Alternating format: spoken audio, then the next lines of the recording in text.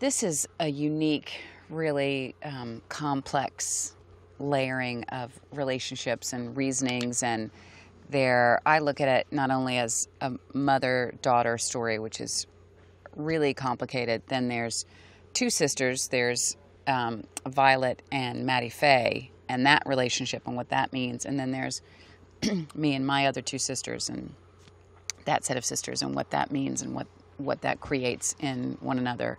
And then you throw the mother and her three daughters, and